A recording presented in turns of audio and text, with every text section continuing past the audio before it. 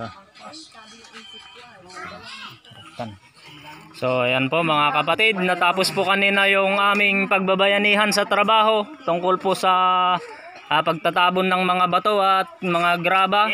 Ngayon naman po ay ating pong matutunghayan ang sama-samang kainan sa ating pong magkakapatiran.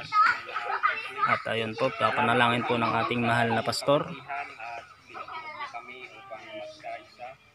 At magsama-sama sa trabaho, sa gawain na kung saan ay unti-unting solusyon para sa kanilang problema. Kaya narito po ang bawat isa, pagpalain niyo po, pagpalain niyo po ang lugar na ito, ang mga nakatira sa lugar na ito, gumawa ka po ng para na sila ay umunlad at umasenso, maging ang biyaya na aming tatanggapin, pagpalain niyo mga kamay na ginamit niyo, ang mga tatanggap, salamat po sa inyong kabutihan, sa pangalan ni Jesus. Amen.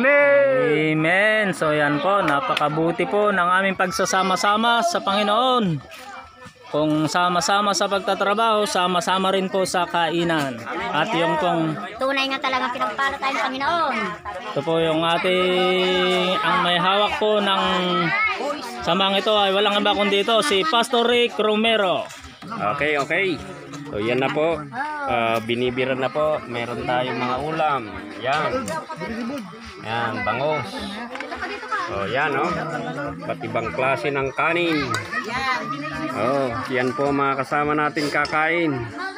Hmm. Yan po yung mga nagakot. Hmm. Sasakyang pinanghakot. Oh, yan po yung mga sasakyan.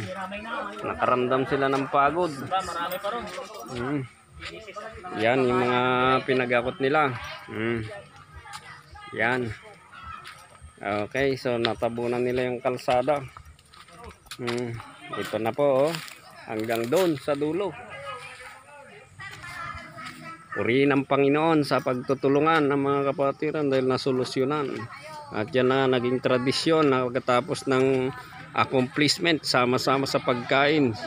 Sa hirap at ginhawa. Go, go, go!